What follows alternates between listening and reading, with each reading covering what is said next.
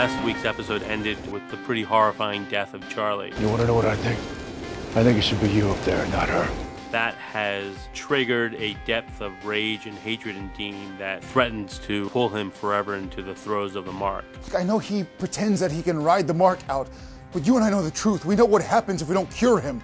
We both know where that road ends. Black eyes and blood. Yes. Sam's desperate to save Dean, so uh, basically he's going to Rowena and he's saying, "Let's do this." Rowena reminds him, "We had a deal." I want my son dead. After? No. We're gonna see Sam take on a fight that I don't think he ever thought uh, he'd have to face this season. Your brother's a walking freaking time bomb and the clock she's a ticking. So you will kill my son and you will do it my way now.